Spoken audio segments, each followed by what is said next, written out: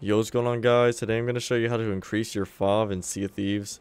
Rare has finally brought back 120 FOV and it's really simple to do.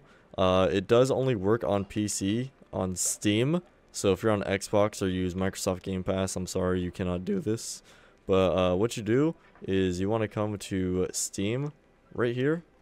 Uh, then you right click Sea of Thieves, go to Properties, and you press the betas and see beta participation. If you click this right here, it will have this drop down menu.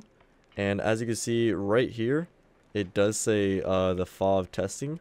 So you just want to click this and then up here it will change the FOV testing. And then you just want to click X.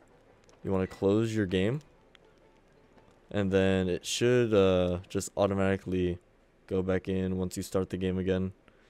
It's like a little download. Like, see, I didn't even have to wait for it to download.